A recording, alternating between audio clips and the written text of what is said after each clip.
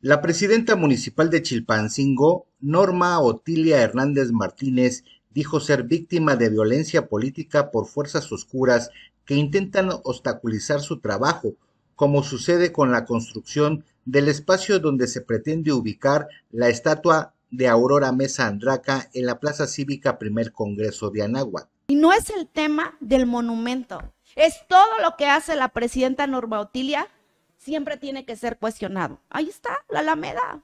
Tuve que conciliarlo meses, platicarlo meses. Y si yo hago una calle, les puedo apostar que nuevamente van a, cuestionar a Norma Otilia. Y si yo pinto el mercado, van a cuestionar a Norma Otilia. Y si yo les hago un festejo a los padres, ahí está Lady Pachangas. Y digan cuántos hacen y quiénes dicen así. De verdad,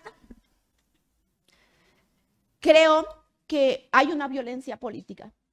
Sobre la ubicación final de esta estatua, la primera alcaldesa de México y América Latina anunció que será decisión del Instituto Nacional de Antropología e Historia en su tradicional conferencia de los lunes, Hernández Martínez advirtió que fracasarán quienes pretenden doblegar su labor. Nos podemos quebrar, doblar, porque las mujeres lloramos, sentimos, reímos, pero también nos enojamos, pero también todos los días nuevamente nacemos cada día con mayor fuerza. Y más cuando hay obstáculos como estos.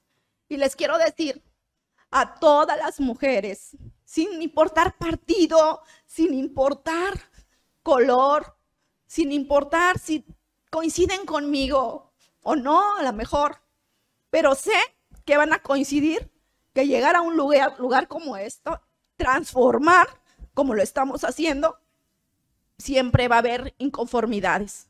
Y como gobernantes vamos a tomar las mejores decisiones. Por eso estamos aquí. Desestimó el golpeo mediático en su contra y los intentos fallidos por destituirla del cargo, en alusión a una marcha ciudadana con ese propósito que no logró la convocatoria anunciada. RTG Noticias, Felipe Zurita.